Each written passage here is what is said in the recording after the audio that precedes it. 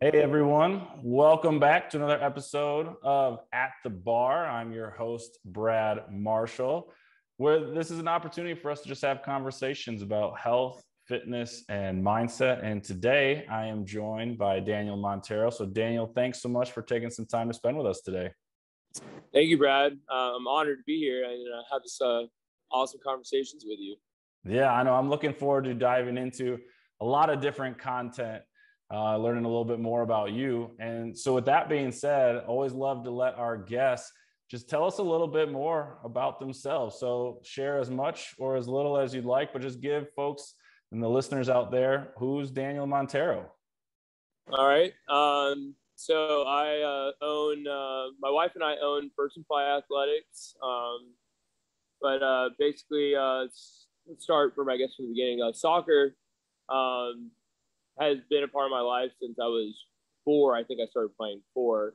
Um, and I was heavily involved in uh, playing soccer, uh, traveled a lot, um, played in high school. Um, I think we won, we won three state, three state champs. Yeah, three.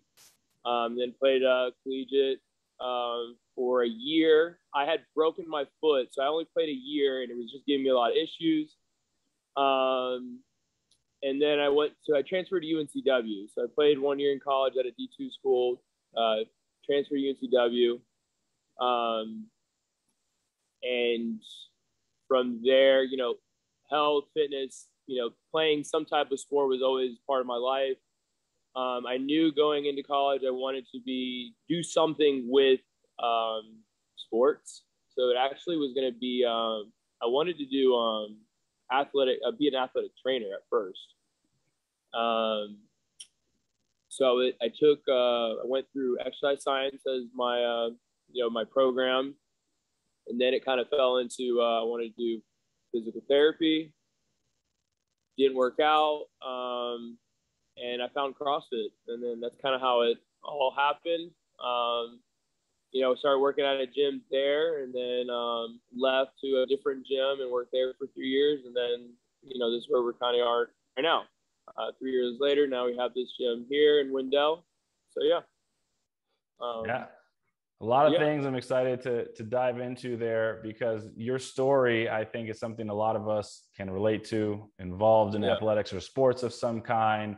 We get out of that sport, we start to figure out what do we want to do, how do we stay fit and you know for you found crossfit so i'm curious a little bit to hear a little bit more about the soccer side. Is that something that you just took a liking to and a passion for yourself something your parents sort of influenced and pushed you towards or how did it come about that you got into soccer and took that as far as you could?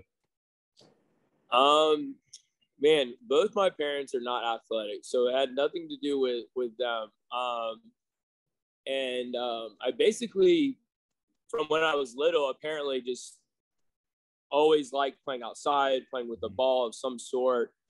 And um, they, you know, my dad, my dad, my family's obviously Hispanic, so soccer is, is part of their culture. So um, they threw me into playing uh, soccer, and boom, I mean, I picked it up. It's you know, natural. Just played and uh, played actually two years up from uh, when I was little the entire time, uh, just because uh, I guess I was blessed with you know the skills of playing some some soccer. So um, yeah, and then I just stuck with it, and then I traveled a lot doing that competitively, and um, yeah.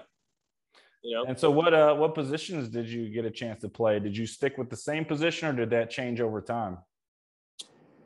It kind of um, majority of time I always played up top because I'm I'm fast and quick um, and I was really good at just like finishing. Um, but then in um, at one point during club, I played a little bit in the middle, uh, you know, midfield, and then my first year of uh, high school, my coach actually put me as a defender, which was mm. very different. Um, I don't know why. I don't know if because I'm I'm smaller, so I don't know. You don't think like a small guy would be playing in the back, you know? But I played that, and then they're like, "No, let's just keep you up front." So that's where I ended up. Nice. So the score, uh, goal score, and pushing the pace a little bit, which is fun. how did you get into or how did you potentially like train or prepare as a soccer athlete because it's interesting i was actually just having this conversation with a, a, friend the other day of how the sports we play and when we're young sort of dictate the type of movement like i never did a true workout until I was probably in high school. Like, you know, we did PE growing up and you did you learned about push-ups and running and yeah. tests but we never did anything formal. So maybe kind of riff off of that of how did, you know, the training start for you or what did it look like? When did you start to formally train as a young athlete? And how did that sort of shape the way that you developed? When you say how I trained as a young, are you talking about more of like that soccer side of things? yeah. Yeah. How did you get ready the... for the sport? Yeah. Oh, okay. Okay. I got you now. Um, I think uh, so. I was just lucky because the way that our coaches had everything set up was either somebody came in and did a bunch of agility stuff with mm-hmm. us, um, and I think it depended on what where we were in life. Like when I went to college, then they started incorporating a lot more of the heavy lifting stuff okay. um, or uh, explosive stuff. But in high school, um, honestly, I felt like we were doing a lot more running than anything um, because as long as we could run and keep um, our like 90% through the whole game versus like you know staying 90% for the first half and then you're dead in the second half and only playing at 50 that was a really big thing for us in high school is like we can last for 90% the whole time. We most likely are going to win. Um, so we were really conditioned i think in high school more towards that high you know, cardio aspect. And then as I got older, you could see like, well, the, you know, everybody's gonna be a lot stronger in college, um, a lot bigger, you know, um, a lot more skilled because, you know, you separate from high school, you know, to college. And then that's where, you know, like the, the lifting um, got more involved. So I think in college is where like I actually went. To, it's sad. It's sad. Like in college, that's when I first went to do my first workout was a freshman in college. Like in high school, like we had weightlifting classes, but I mean, if you took it seriously, respect because in high school that was not something that I really I wish I did. Yeah. Wish I knew. Yeah. You know, because now like with CrossFit and lifting and and doing all the training with that, I uh had done some indoor soccer or some, you know, some leagues, and man, it played a huge role. Like I just felt like I was way stronger. Um, was able to battle, you know, somebody that was way bigger with, you know, me, you know, you know, shoulder shoulder running against ball or hitting, you know, not hitting, but you know what I mean. Like mm-hmm. in indoor, it's kind of I think it's a little more physical, but but yeah. So I think it's so fascinating, you know, that perspective because I, I would agree. I'm in the same boat. Uh, you know, didn't get formal workouts till later in life, and we see what some of these teenagers are capable of who get on a sort of formal training plan early on in their you know 11 12 years old and at 17 18 they're already really pushing the boundary of what we think is possible and so i think it, it just speaks to the idea that it's okay to get some more formalized training at a younger age and how much more beneficial that can be for us maybe in a sport that we love playing or maybe just being healthy in our lives as we transition through so it's uh it's cool to hear that perspective from you of you know we are influenced at a young age on what we get into whether it's we're just running or hey we're doing push-ups or whatever it might be and how mm-hmm. that transitions so i'd love to hear as you worked through then high school and then college and then transitioned out of soccer, what did fitness look like for you no longer hmm. as a athlete that was competing formally? Oh, it's, it's funny you asked that question. So, believe it or not, like after I finished college, and that was that was my motivation, you know, to stay healthy. But I, gosh, it, at that time I felt like I was still blinded because I like I actually I stopped soccer right, Um, so I was in my sophomore year of college, and that's when I decided to no longer play anymore. Um, and so all of my, you know, fitness or running and you know moving side to side or this and that stopped. Um, believe it or not, I didn't actually continue doing anything physical um, in the gym or outside the gym at that intensity anymore. So there was a one part of my life where it kind of dropped off. Mm-hmm. Um, and at that time, it was a time where I was enjoying college more than I probably should have, which everybody goes through, mm-hmm. um, especially being at Wilmington and the beach. Um, you know, you just get kind of caught up. So um, I played a little bit like here and there, but I remember thinking to myself, like, man, I'm like, I've like lost, um, you know, I'm slower. Mm-hmm. Um, I'm a smaller guy, so I've never been big. So I was like getting bigger um, than what I'm was used to. And I was, you know, I was like, wow, like I need to do something. So I actually ended up trying to just play more soccer because that's what I just knew, you know, was just to go play more. Um, it still hadn't, the gym still hadn't hit yet. So I was still um, like, okay, well, I'm just going to go play more soccer. So I ended up playing um, intramural stuff with friends. Um, and that was fun. Like, you know, um, more club stuff uh, involving soccer and stuff like that. Um, so I did that for a while, and then you know that's kind of again that's still fitness hadn't come in yet, but I figured you're gonna ask that question of how I got into it, so I'll explain it I guess when it comes up. But but yeah, yeah, I think that's the the natural ebb and flow a lot of us take is we're get into some form of working out because of either a sport we're in or we want to get better at something and then we transition out of that sport and we're a little bit lost is what I, I way, yeah. the way I describe it of don't really know what to do or why to do it. Everything was geared towards this specific activity. And as our life goes through, we just sort of hit this ebb and flow of periods of, Hey, I want to be in shape. And then eh, I'm, I'm not as, uh, not as worried about at this point in time. So for you, it sounds like that was sort of those college years. And mm-hmm. so after college, it sounds like did the intramural thing, try to stay in shape in that way. And then at some point in time along the way, we found the gym, CrossFit, whatever it might be. So, what was that process like for you? Um, so let's see. I ended up trying to do some um, right before CrossFit.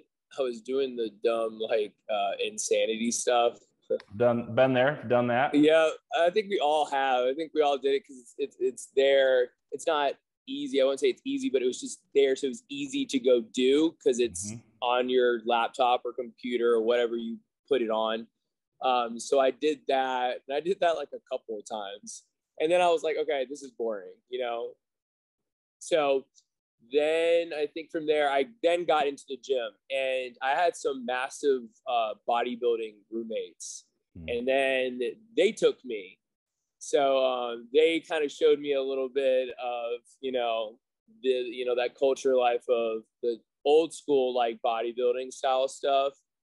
So I did that and I still got bored. And it, for me, it makes sense because soccer is such a high paced uh, game and bodybuilding is a you know you're doing your reps you're sitting or you're standing or whatever you're doing and you're resting and then you're hitting another set or whatever. And i just i got bored um, very bored. So i was like i can't do this. Like this is is just too boring. Um, so then um, my last year of college i actually got heartbroken. Um, I was dating a girl for all of college, and I actually thought I was going to marry this girl. And um, so she broke up with me the summer before my senior year, and my senior year was uh, awesome. I only had to take, um, I think, two classes. I had a half semester left, so this is going to be my last like hoorah before I graduate and you know move on to to life. And um, so that happened, and I mean, you get heartbroken. It's you know, you're there's you're plenty of uh there's plenty of funny memes if you follow any gym pages on yeah. social media about how channeling that heartbreak into the gym is sometimes the best thing that you can do. And it and exactly you just said it, it literally was the best thing that ever happened to me. Not that our relationship wasn't great with Jade for a very long time. It was great. Um, and then when we broke up, it was devastating almost, you know? So I was like, what am I going to do? Because this girl is like my best friend, you know, at the time. So then I'm like, what am I going to do? So then I'm like, I'm just going to go start CrossFit finally. Because uh, I had heard about it. But at the time, um, you know, CrossFit's 135 a month uh, plus. Um, senior year of college, it's not like I'm racking in a ton of money to, you know, so I actually ended up and, you know, bless my, my dad, but he actually ended up helping me get that going. Um, so he actually covered that cost for me um, because I was like, dude, like I need something because this, I'm just going to go downhill. Mm-hmm. And um, I started. And as you know, first day I started and I was hooked. I mean, the definition of your first day of CrossFit, you get hooked. And I loved it. I stuck with it and I excelled at it very quickly. So when that happened, um, I blocked all of the past stuff out of my life and, you know, kind of blossomed yeah. in a way. So it was the best thing that ever happened to me. Um, mm. you know, clearly with now where I am now, like, you know, running this own my own place, like it was meant to be that we weren't, you know, that she should have broke up with me and boom, this happened. So I was blessed that, you know, it happened. I hated that happened because we're, you know, best friends, but I was glad it happened. Mm-hmm. So that's kind of how it happened um, with getting into CrossFit. Yeah something that I noticed a thread that runs along your story, and I think a lot of people can relate to it, is the role that our social circle or the community that we have plays in it. You know, you were involved in soccer and you're doing your workouts with your teammates. And then found insanity, which is sort of like the solo project, but there's still people on the TV screen, and you feel like you're trying to connect to the Beachbody world. And then having friends who took you to the bodybuilding world, and then you know eventually finding CrossFit, which has a lot of community tied in with community. that. Oh yeah. And you know, being an owner of a gym, I'm just curious if you would be able to elaborate on that a little bit of what role you feel like or you've seen this idea of community or having social support for people's health and fitness journeys and how pivotal that can be. I think that if CrossFit didn't have the community aspect that every CrossFit gym should have, then CrossFit wouldn't be what it is today. I think that that's the reason it is the reason why it saved me. Not that i was like going like a terrible down you know world but like i was not in the right place still.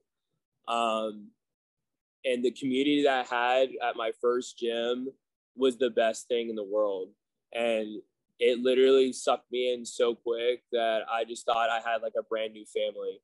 So like with the gym here, like that is the number one thing that we always talk about is that at this gym we try to make it a family. We try to make it a community. It's literally ran by my wife, uh, my dad, and my mom and I. Like we're all invested in this together, and I think a lot of people say like that's why we picked you guys is because you're you're a, you're a family that's just you know trying to run a, a fun gym you know and um, they love that part about you know First in Flight. So we try to make that i know that a lot of gyms obviously do that. I know that shoot flies like that. I know that street you know tries to make it a community base and i know that you're like that too. So i think that's why everybody starts um, you know, with whatever they're doing in fitness. But I think CrossFit definitely has that community aspect uh, behind it. So yeah. Yeah, I, I 100% agree. And I, I think that's my personal opinion too is community or social support in some way, shape, or form is probably the most or the biggest influencer on somebody staying consistent in anything Absolutely. a running club getting on the peloton getting into a crossfit gym if we're looking at movement from a more holistic perspective here that community is what everybody's trying to figure out and find of ways to build that um, so i'm curious so your gym being family owned mom and dad and wife involved in it is there anything that you do specifically or tactics maybe we can learn from of how do you build community or how do you put that first? I know you've got rules or gym rules on the board there that highlight some of those factors but as you think about building community how do you feel like you've seen that or some of the best ways that you've been able to do that as a gym owner? Just the uh we just try to do a lot of um events that's you know here at the gym um, that are only for the gym um, whether it's as simple as like a halloween party or mm-hmm. a christmas party or in-house competition um, or we're trying to do a bring your friend for the month type thing um, to show that like you know we want you to be able to bring your friends because it's something that you obviously love so you know bring them and see if they enjoy it with you kind of thing um, so we just try to do as much, um, you know, community things at the gym as possible. You know, barbecues, stuff like that, um, fundraisers. Uh, another example of something that we did. Um, we have a um, CrossFit mom here that she just um, had a baby born, but her baby was born three months early. Mm. So she is currently at the hospital for the next three months um, because obviously she um, came a little bit too soon. Mm-hmm. So um, as a gym, we did on 9/11, we did also a fundraiser for her um, to help out, um, you know, the family that is now going to have to revolve their life around the hospital for the next three months, which is, you know, thinking about financially like is going to be astronomical. So you know right there our community we told her like your your First in Flight families is is going to be behind you this entire way. So like stuff like that you know goes around and i think that's why people um you know i i know other gyms do this but you know that's why i think uh it makes us special here. Um you know i saw you know the mom uh actually had her baby shower and she just hugged and, and cried, you know, and like just amazed that we ran a fundraiser for her like that, you know?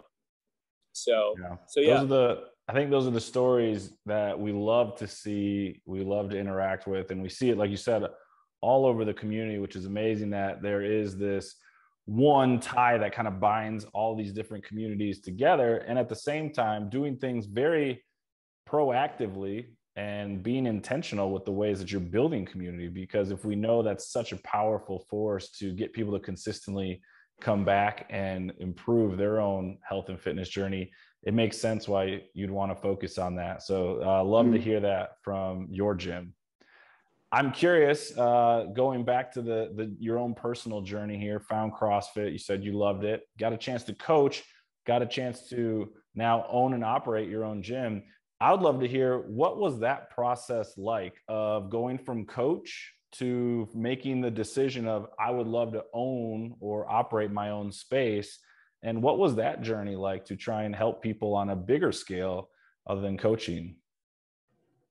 So, believe it or not, in my first week of CrossFit, I actually told myself, I wish I had told somebody this out loud, but I actually told myself that one day I'm going to open my own place. Mm. I loved it that much in a week that I literally was like, this is going to be what I'm going to do for the rest of my life.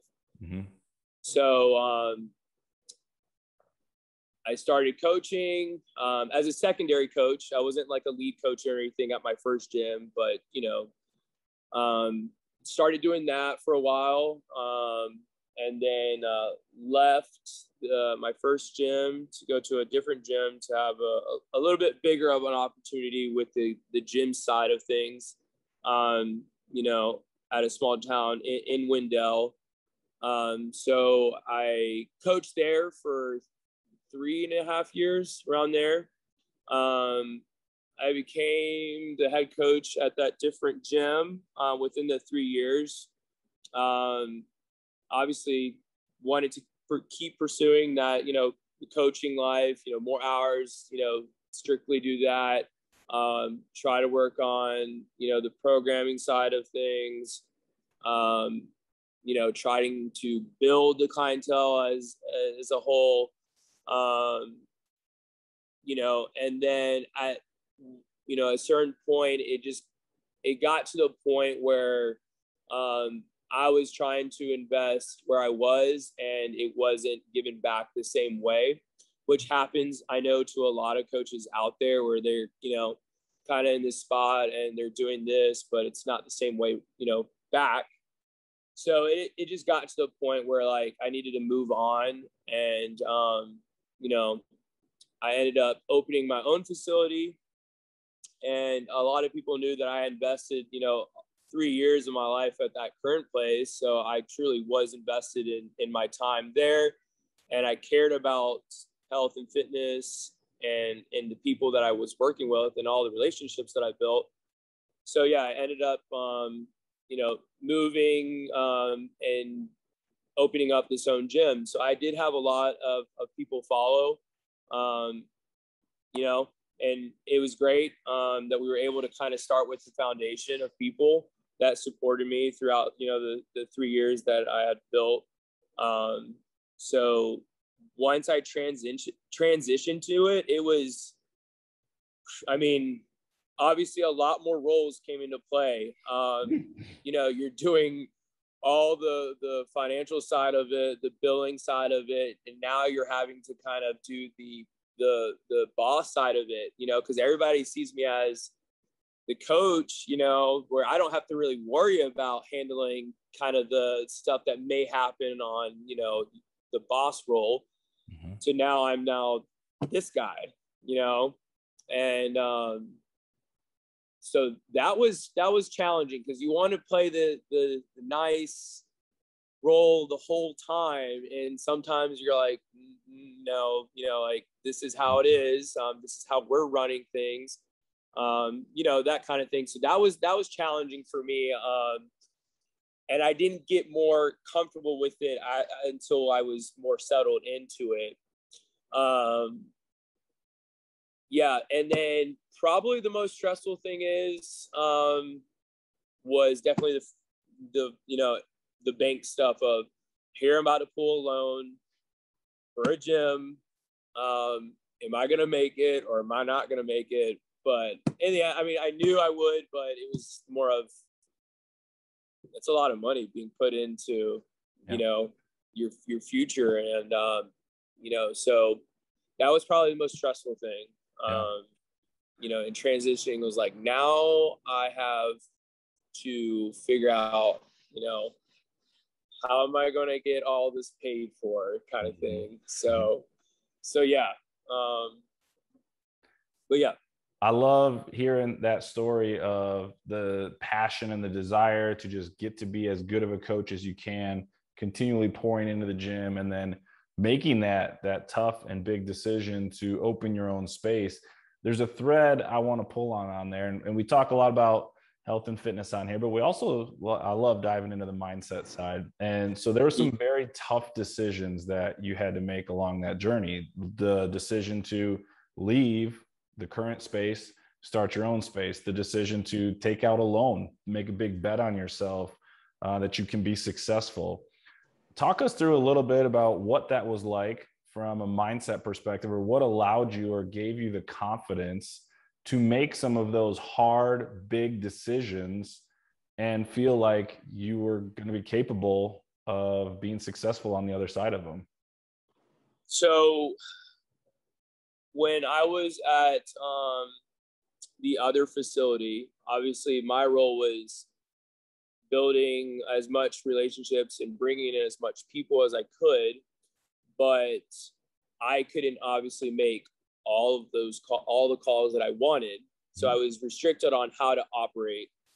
Um, so I knew that once I could leave and do it my way, um, I knew that once I left, and yes, starting with a foundation, which was which was great. Um, it's like a kickstart. Like you know, we were blessed to have so many people kind of follow us. But I knew that if we could operate the way that I wanted to, then we can kind of build it differently than how it was previously with kind of the role the that side where I was saying like I didn't have those um, where I couldn't make those rules. Um, so I knew with us doing it, you know, the way that we wanted, it would help us take off a lot more, you know, than where I previous previously was. Um, so I would just say like that helped me with my mindset on trying to like being able to ex- expand a lot more. Where I was, I, we were always stuck at a number of like 75 people. You know, and we could never get past that. But there's just so many things that I wanted to change, you know. So um, I knew that I knew as soon as I we decided to pull the trigger on on making the move, um, and with the support that I had, that was the biggest thing. The support that I had was probably the reason why I pulled the trigger on on doing it. The other crazy thing that also kind of like fell in line with everything was when we were trying to look for a building. Um, my buddy who um, actually kind of is an investor in, in, in this gym. He's kind of like a silent partner. Um, he actually found this building that we're in, mm-hmm. and I had a um, a broker that was trying to look for buildings and stuff like that, and this building wasn't listed, I think, on the market or something. I, I don't remember what it was, but we called the landlord of this building, and when we got him on the phone, um, he asked us what we wanted it for. And we said we wanted to make it a uh, fitness facility you know mainly crossfit. Um, we wanted to add in some other programs. You know allison does the boot camp side of, uh, of it um, you know and so on. And the, the landlord responded. He was like well perfect because this building is only meant for a gym and i'm in a small town wendell you know and to hear that was odd because there's um, a Globo type gym already in town, and then there's a CrossFit gym already established. So for them, for him to say that he wants it to be a gym, I was kind of like, uh, wow, okay. It made it feel like it was meant to be. Like God kind of put this, put me in this path. Mm-hmm. And uh, the guy that actually is the landlord of this building, he's also the landlord of 12 State CrossFit. So it's like, it was just kind of crazy. Um, with that being added, he was like, let's start signing documents. It literally all happened within a week and that was it. It was just like, it just kind of like fell into place. Um, so that was another reason. Like we didn't have, like if that didn't happen, I don't know how much longer it would have taken mm-hmm. or if it would have happened the way that it did. But I just felt like when that happened, I was like, it's meant to be that we just open here and do it the way that you know we want to um, so yeah some things that you said there that i want to highlight because i think it's really unique and helps all of us learn from it is this idea of confidence and confidence really comes from what we say to ourselves in those moments and reflecting on the tough decisions that you had you had a lot of confidence that you were going to be able to be successful. Part of that was you had support in a community which is one way that we can build confidence is others around us can help to support us. Uh, probably done some difficult challenging things before so that definitely is something that we can rely on in those moments. And then you know there's also just sometimes things fall into place like you said and mm-hmm. having that uh, work towards our advantage just continually builds that confidence so whether it's making a tough decision about what to do with your work or employment or start that fitness journey or continue along or competition regardless of whatever the situation is these are some really unique things we can pull if we're interested in improving our own confidence to make those tough decisions so i really appreciate that story and how some of those tie in along with that i'm curious to hear so now having owned your own space what are some of your favorite pieces about being an owner? Oh wow. Mm-hmm. Um,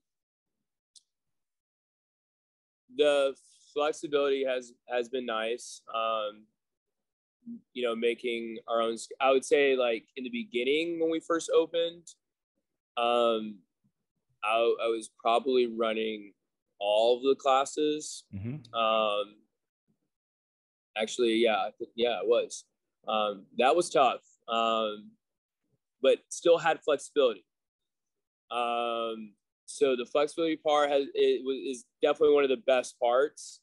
Um, I would then say, like I, I mentioned earlier, is being able to, you know, either have the the final call or making the decisions um, on how you want it to, you know, be ran has been huge.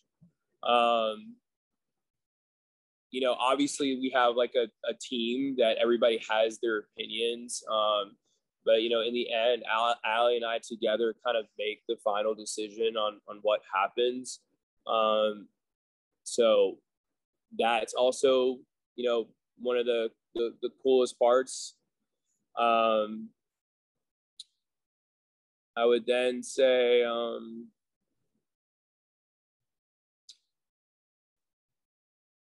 Hmm. I would say those two are probably, you know, the the two top ones, I guess. Mm-hmm. Um, mm-hmm. As as being owner, obviously there's the the the other side of all the other stuff, but that doesn't, you know. Um, yeah, I think those two, to me, you know, the flexibility and, and having the final call and and stuff like that, um, in the way that we want to build the you know the gym and the family um, is is probably the you know thing we enjoy the most. Um, yeah, that this idea of autonomy, uh, our ability to have a say in whatever our decisions, behaviors, etc., are, how powerful that can be as a motivator intrinsically. So to help us continue moving forward, and it sounds like as an owner, some of that intrinsic motivation or autonomy definitely shows through uh, in your ability to want to grow and continue investing in the gym, which is pretty cool. Right. Uh, curious to come back to your fitness journey if we're going, you know, bring this thing all the way around. So, looking at the journey that you've been on so far from soccer to uh, insanity to bodybuilding, now CrossFit, but even within CrossFit, I know, like most folks, our goals and things we're working towards changes over time. Uh, I'm just curious to hear of what are some of the things that come to mind for you when you think about current goals or current aspirations that you're working towards within your health and fitness journey? So, currently, I would say um, to live a long, healthy, and pain free life. Mm. I think a lot of us, um, when we first start cross, or probably everybody, when they first, when we, when you first start, obviously you just want to climb this ladder of goals. Mm-hmm. And that that's how it should be. It, it, it always is going to be that way.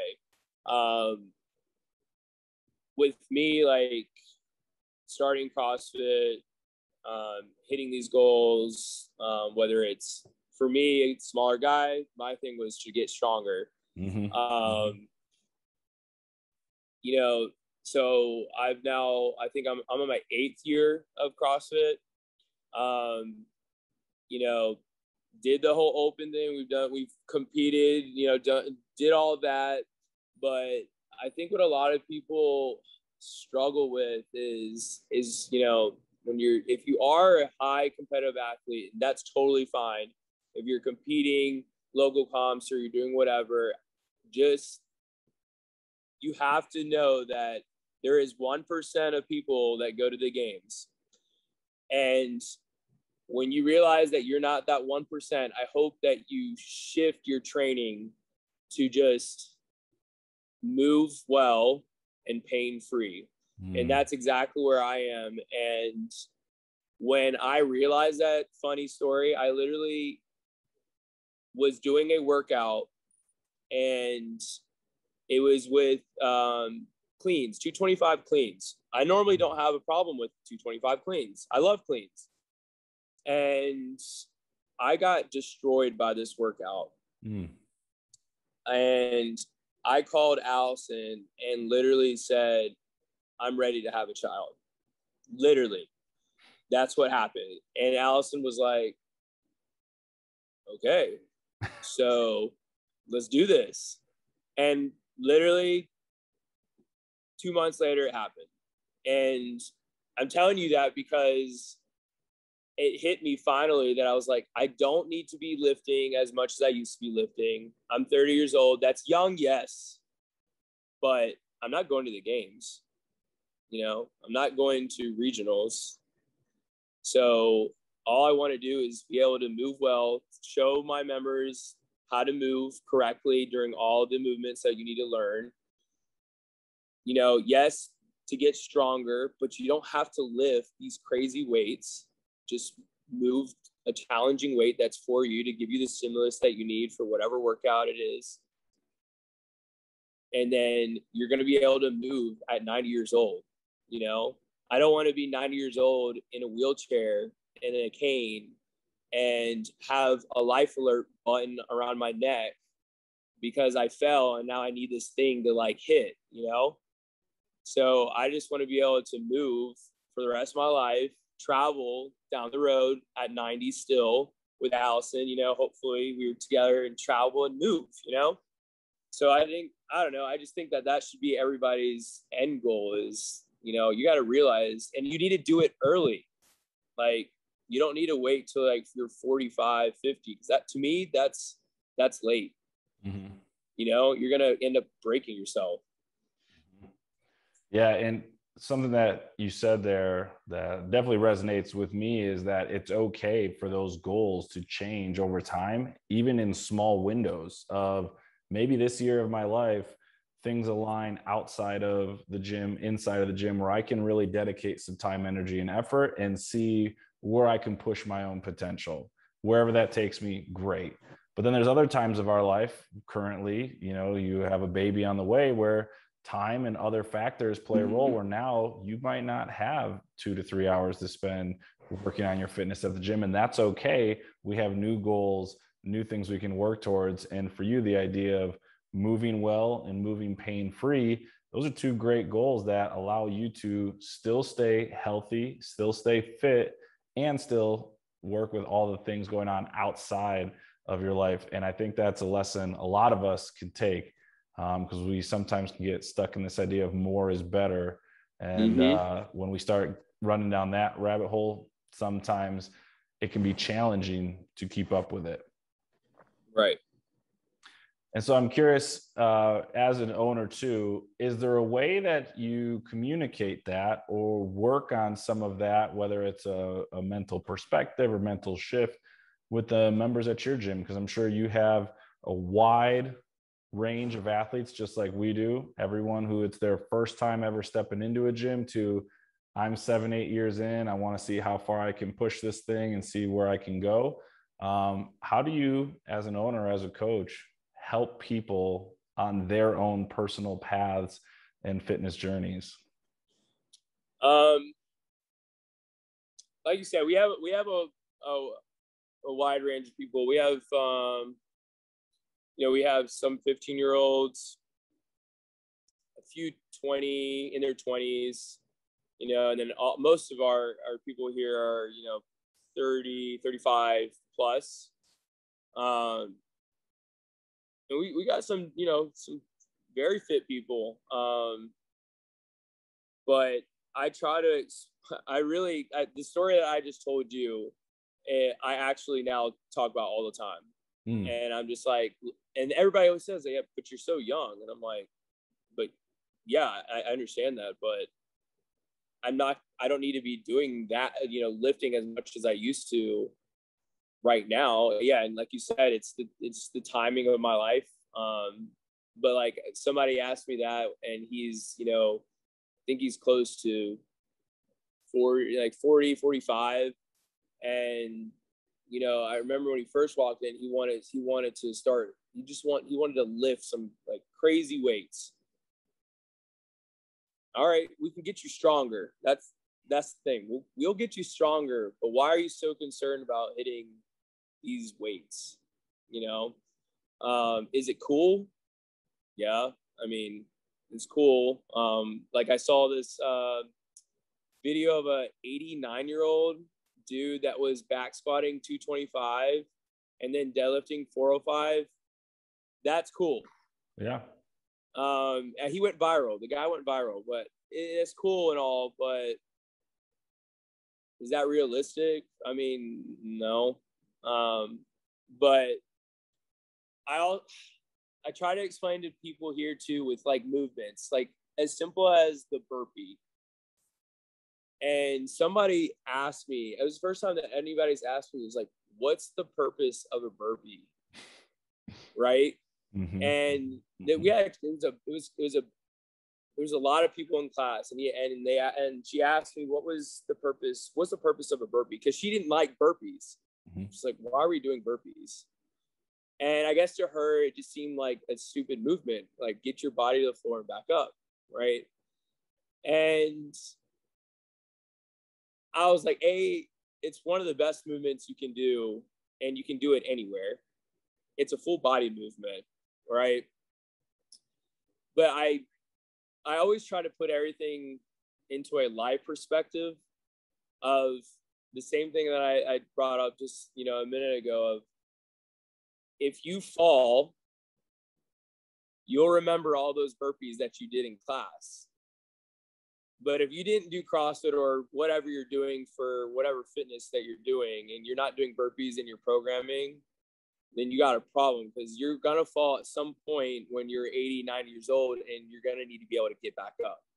Mm-hmm. So I always try to relate everything to life. Um, whether it's even something as like a pull up, I was like, what if you're hanging on something and you need to be able to get back up on whatever ledge that you are because you're hanging and below you can't, you know, is is death. I put stuff into I put death into it all the time. And they're like, wow, it makes sense. I need to be able to pull myself up to get back on the ledge or I'm going to fall and not survive.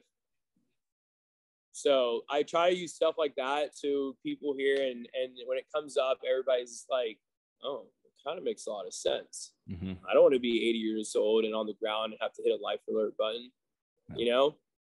So I think the the way that you've you know connected movement to stories and then also tying it into potential life experiences mm-hmm.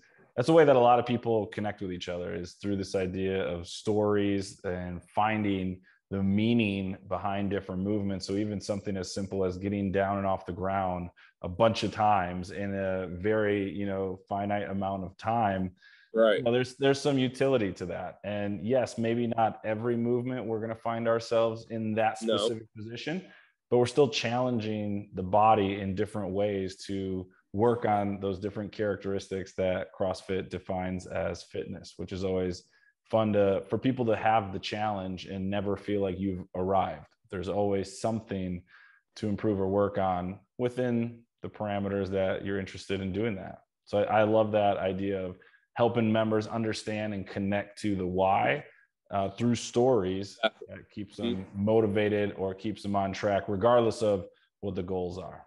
So, well, we've talked about uh, a lot of topics today. I've loved hearing a little bit more about your own fitness journey from sport through college, the idea of working on different goals at different stages of your life, whether it's competing, getting into general health and fitness, whether it's, hey, baby on the way, things change.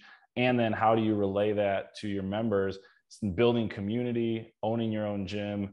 Uh, it's been fun to hear your health and fitness journey, and then also hear a little bit of the mindset that allowed you to make some really big and tough decisions, have confidence in that, and then also help others along their health and fitness journey. So, Daniel, I want to say thanks so much for spending some time with me today. Uh, I'm excited to continue to get to know and learn from you as someone in the area here. And uh, thank you so much for your time today.